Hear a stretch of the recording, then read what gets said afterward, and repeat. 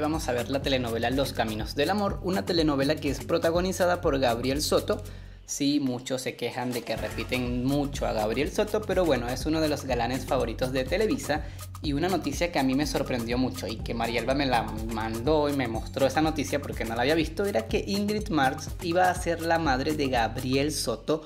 algo que de primer momento obviamente nos sorprende a todos porque la diferencia de edad entre uno y el otro son simplemente 5 años. Ingrid tiene 42 años y Gabriel tiene 47, así que allí la lógica no da como para que ella sea su madre, pero luego leyendo más de la información nos damos cuenta que es su madre, pero porque ella va a salir en el pasado de la historia ella solo va a salir mediante flashback, va a salir en recuerdos, porque la idea de la telenovela es mantener como esa tradición o mostrar esa tradición de que aunque las personas fallezcan, tus padres fallezcan, siempre están presentes en la familia a través de recuerdos, fotografías o simplemente hablando de ellos. Y así es como vamos a poder ver a Ingrid interpretando a la madre de Gabriel porque de otra manera sería sumamente ilógico algo así como cuando Chantal Andere fue la madre de Armando Araiza en Barrera de Amor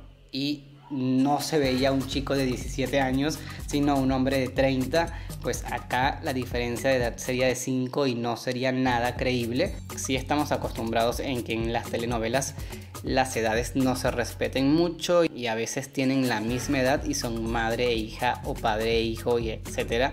pero bueno, acá es por este motivo, así que no nos alarmemos porque esto se va a ver en flashback y seguramente la persona que va a estar con Ingrid en ese recuerdo va a ser un niño o va a ser un hombre mucho más joven que Gabriel para poder ver verosimilitud en esa escena. Hace poco les hice un video hablándoles de esta novela, de Los Caminos del Amor, la nueva producción de Nicandro Díaz, y les mostraba un poco de qué va a tratar la historia, que va a estar protagonizada por Gabriel y la gran Susana González, una historia que muchos le ven parecido a Mi Fortuna es Marte, pero que ya les mostré incluso el tráiler y no se parece tanto, porque acá es como una mezcla también con Te doy la vida, que eh, el padre tiene que buscar a una niña, pero esta niña no está enferma, sino que la dieron en adopción. Él desea recuperar a su hija, pero ya no le será tan fácil, así que intenta crear un vínculo con la niña y en ese proceso se va enamorando de la madre adoptiva y entonces ya sabemos que al final va a lograr tener a su niña y va a poder tener una familia ya que se enamoró